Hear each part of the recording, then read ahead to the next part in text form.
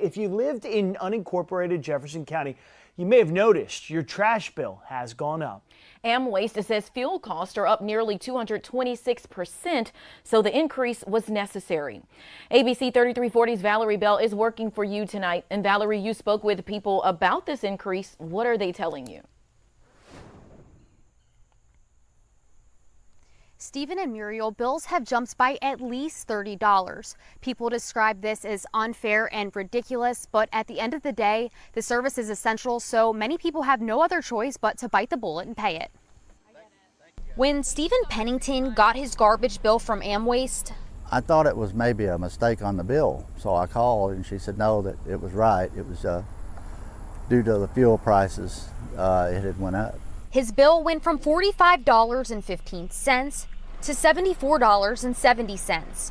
And that's just the standard rate.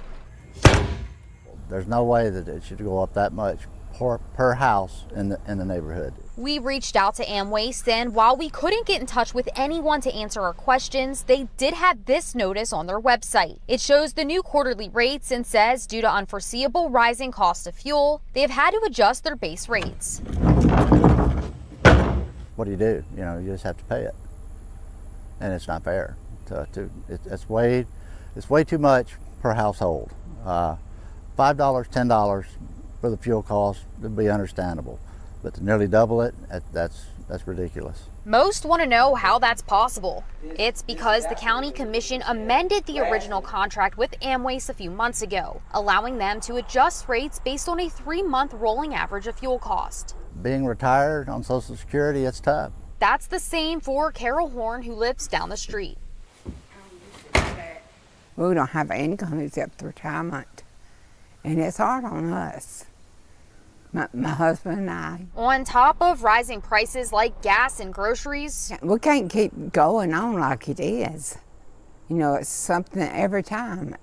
And for Herbert Higgins, this was no surprise. Because I said, well, they doing like they always do, go up. Like others in Sylvan Springs, he says there's only one option. Just have to pay it. I did speak with the county's director of roads and transportation on the phone about this today.